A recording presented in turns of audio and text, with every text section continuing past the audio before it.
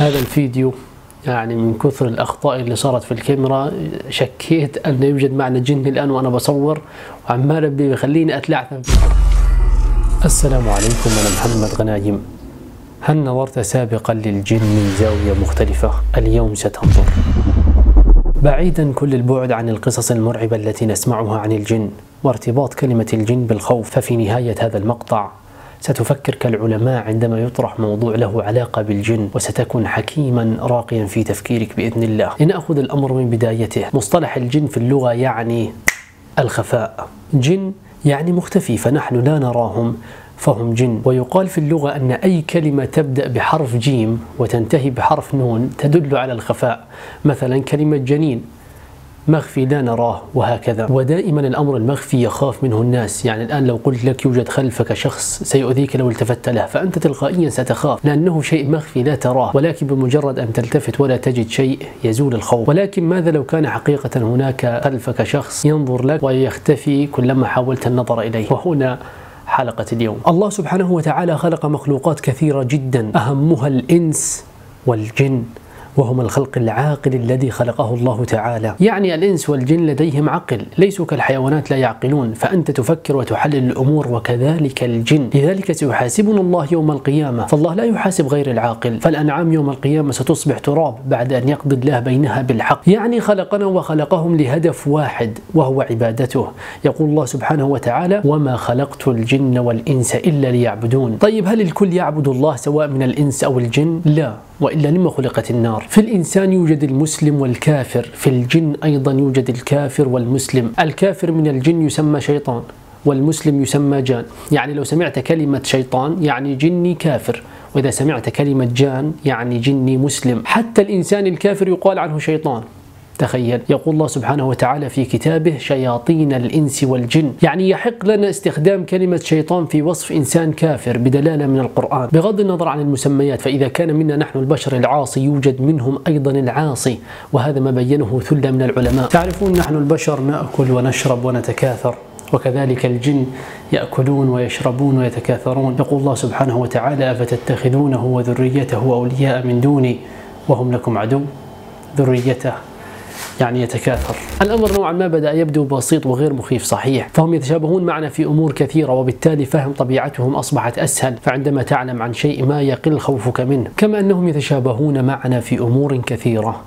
أيضا يختلفون عنا في أمور كثيرة. يختلفون عنا بأننا نحن البشر خلقنا من طين وهم خلقوا من نار وهذا كان السبب الأساسي في رفض إبليس السجود لآدم في الجنة. إبليس هو كبير الشياطين كما تعلمون. شعر أننا مخلوقات أقل منه وشعر أن الطين أقل من النار فلم يسجد لآدم في الجنة فتوعده الله سبحانه وتعالى بالعذاب وتوعد الله بأن يضل هذه المخلوقات الضعيفة أن يضلنا نحن. إذا نوعا ما ملخص كل ما قلناه إلى الآن أن الجن يتشابه معنا في أمور كثيرة هو عاقل يفكر يأكل يشرب يتكاثر مثلنا نحن الإنس ويختلف عنا بأنه خلق من نار ونحن خلقنا من طين وهو يستطيع رؤيتنا ونحن لا نستطيع رؤيتهم. يقول الله سبحانه وتعالى إنه يراكم هو وقبيله من حيث لا ترونهم. قال العلماء في تفسير هذه الآية أن الشياطين تستطيع رؤيتنا على هيئتنا الأساسية ولكن نحن لا نستطيع رؤيتهم على هيئتهم الحقيقية. نستطيع أن نراهم عندما يتمثلون بخلق آخر. مثلا الشيطان في يوم بدر أتى إلى المشركين على هيئة إنسان سراق بن مالك والوعد المشركين بالنصر. إذا فإننا نستطيع أن نرى الجن ولكن على غير هيئتهم الحقيقية. طيب السؤال الذي لطالما حيرني لماذا لا يمكننا رؤية الجن على هيئتهم الحقيقية؟ ما المانع في ذلك؟ المانع في القرآن الكريم عند جملة من حيث لا ترونهم. يعني الجن يرانا بطريقة ما تفوق قدراتنا كبشر. وهنا سأتعمق قليلا في تفسير هذه الآية الكريمة. من حيث لا ترونهم. تعرفون الأبعاد في الكون الذي نعرفه نحن البشر؟ ثلاثة أبعاد مكانية طول عرض ارتفاع وواحد زماني الذي فسره أينشتاين. يعني نحن البشر نعيش في بعد ثلاثي. لتوضيح الفكرة أكثر لنبدأ من البعد الأول. هو عبارة عن خط يمكن لمن يعيش به أن يتحرك يمين أو يسار فقط. لو قمنا بمد خطوط من الجانبين بحيث يتشكل مربع لنا يسمى هذا البعد الثاني مثل الورقة. يوجد طول وعرض ولا يوجد ارتفاع يعني تستطيع التحرك يمين ويسار أمام وخلف فقط. ثم للتحول إلى البعد الثالث نقوم بمد خطوط من كل زاوية لنحصل على شكل مكعب ويكون به ثلاثة محاور طول عرض ارتفاع. وهذا هو البعد الثالث الذي نعيش به نحن البشر. الفكرة الآن لو شخص من البعد الثالث يعني نحن يستطيع رؤية البعد الثاني أو الأول صحيح؟ يعني مثلا أن تنظر الآن أنت لورقة أو لخط أفقي. تستطيع بكل سهولة. ولكن الذي يعيش في البعد الثاني فإذا رآك سيرى منك فقط خط ما يوازيه. الآن لو قمت مد خطوط كما في الشكل سنحصل على البعد الرابع. شكل غريب صحيح وغير مفهوم ربما. البعد الرابع يستطيع أن يشاهد البعد الثالث الذي نحن به ولكننا لا نرى منه سوى المحاور التي لدينا يقال أن الجن يعيش في البعد الرابع أو الخامس يعني يرانا ونحن لا نراه وصلت الفكرة. طبعا هذا الكلام غير مثبت علميا 100% بل نظريات. ولا مانع ديني يمنعنا من مثل هذا التفكر بشرط أن تبتعد عن الصدفة في تفسيره لتلك الأبعاد حتى لا تقع في شبهات إلحادية. وفقا لما افترضنا فإن الجن يعيشون في بعد أعلى منا يتداخلون في عالمنا يروننا ولا نراهم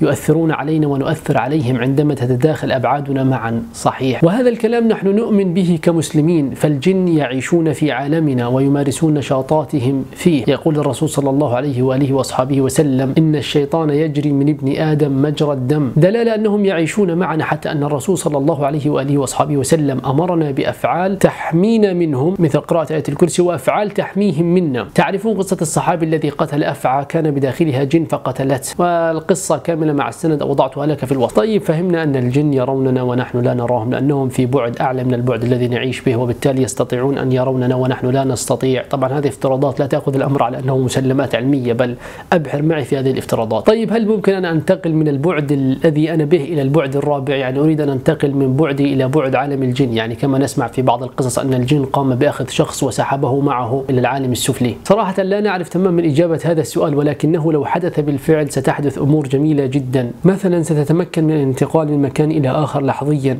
ستحدث أمور خيالية لن يفهمها عقلك الثلاثي البعد. في البعد الرابع لا يوجد واي فاي أو أشعة كهرومغناطيسية أو قوة نووية لأن كل الأجسام في البعد الثالث بينها ترابط معين. هذا الترابط يختفي عندما تنتقل إلى البعد الرابع. فبالتالي ال DNA الخاص بك سيتحلل. أمور كثيرة ربما الخيال نفسه لن يستوعبها حتى. تمام. الآن أعتقد ربما يوجد سؤال على عقلك أو في بالك وهو هل يستطيع الجن أن يؤثر على الإنسان في بدنه؟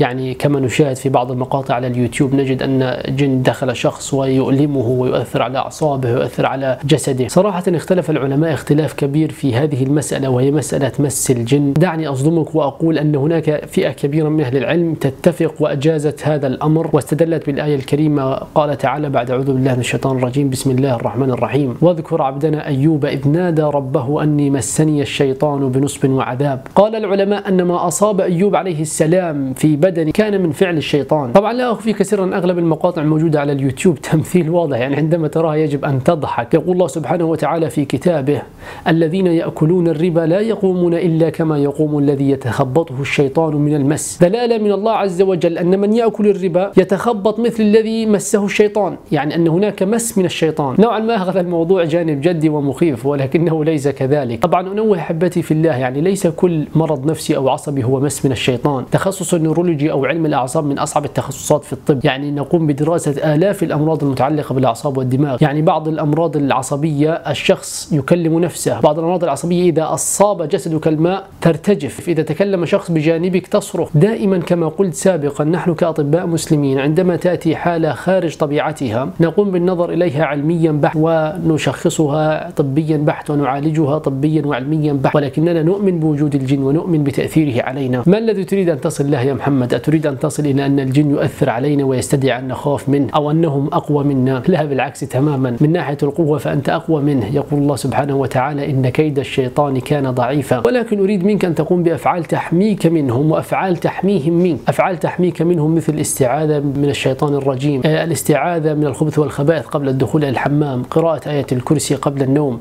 وأفعال تحميهم منك مثلا لا تقتل أفعات أو حيات البيوت لئلا تكون جنا مسلما كما قال الرسول صلى الله عليه في حديثه. وضعته لكم أيضا في الوصف. في النهاية أحبتي في الله أعلم أن هناك سؤال سيأتي من مثقف يقول العالم وصل إلى الفضاء وأنتم تتكلمون عن الجن وهذه الخرافات. اسمع أيها المثقف. في البداية لا يوجد شيء ذكر في القرآن الكريم لا فائدة من الحديث عنه. إضافة إلى أنهم وصلوا إلى الفضاء لأنهم درسوا علوم الفضاء. يعني يعطيني وكالة فضاء عربية واحدة. بل أن أغلب الأبحاث والدراسات التي تجري حاليا في المختبرات السرية تقوم على دراسة القوى الخارقة والعالم السفلي لتوظيف ذلك في مصالحهم.